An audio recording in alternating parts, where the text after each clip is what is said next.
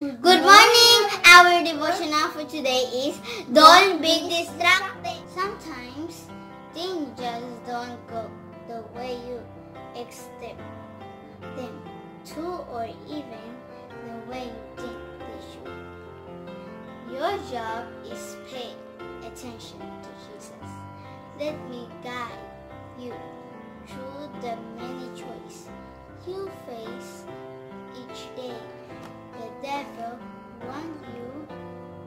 attention too.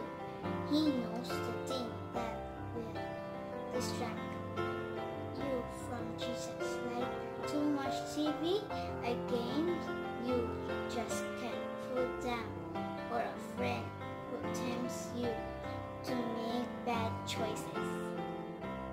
And the Bible says in the book of Psalm 42 verse 11, Why Why am I so upset? I should put my hope in God. I should keep praising Him,